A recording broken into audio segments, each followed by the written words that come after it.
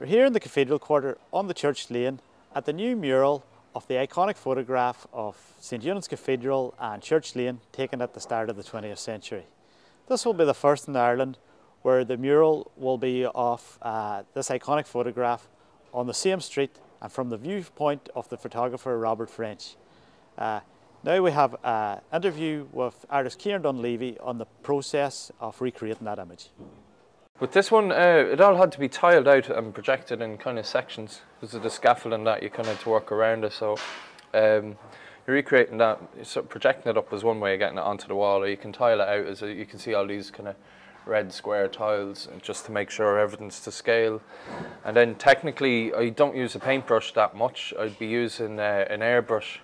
So a lot of people don't really know what an airbrush is. If you imagine like a spray can, it's a very fine version of that. So it's a little pen so when you're spraying, it gives you incredibly soft lines or you can get sharp lines. So uh, depending on how close you hold it to the wall.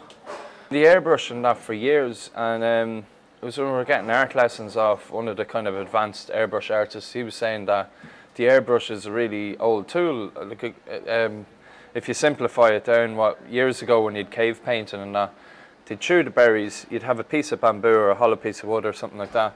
You put your hand up to the wall and they just you know, air pressure and um, all the berries would kind of splatter, kind of, you know, onto the wall. And then they'd take the hand off and they'd leave the trace of the hand. And that's how the cave painting started. And then they'd be using animal hairs and then they eventually made paintbrushes and stuff like that. But the oldest, yeah, one of the oldest air tools is a, a, very, very simple version of an airbrush. I don't know if that made me interested in it or not, but it's, it's something that kind of resonates with you to use. I, I love using it. It's very soft. Um, you can just you can get to the level of details that I like to get to when you're trying to recreate an image like this. You know. Um, yeah, the reason why I like doing it, I suppose, it does it goes back to yeah, it does go back to cave painting if you think about it, like you know, um, decorating walls to look nice. I suppose that's why it always grabbed me.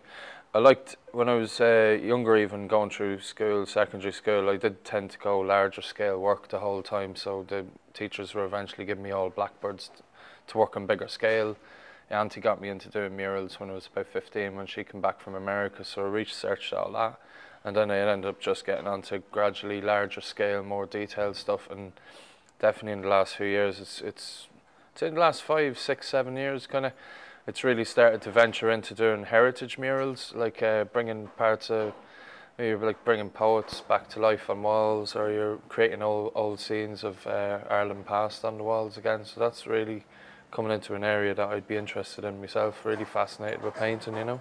Yeah, it's a celebration and a reflection of it, you know. And they picked this image, and usually when I'm doing the mural, I'd pick the image. But if I had researched, I couldn't have found a better image to put on it.